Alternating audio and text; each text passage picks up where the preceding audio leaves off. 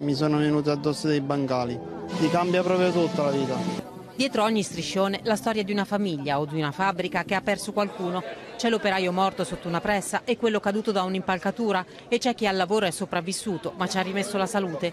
In migliaia si sono messi in marcia a Isola del Gran Sasso in provincia di Teramo, guidati dall'AMMI, l'Associazione Nazionale Mutilati e Invalidi del Lavoro, che denuncia tre morti al giorno e 40.000 nuovi casi di invalidità permanente all'anno, senza contare i numeri della strage silenziosa legata alle varie malattie professionali questi incidenti sul lavoro, quelli mortali e anche gli altri, si possono evitare con il rispetto delle norme, con una cultura nuova, ma soprattutto nuovi controlli mirati nei settori più importanti. Basta stragi.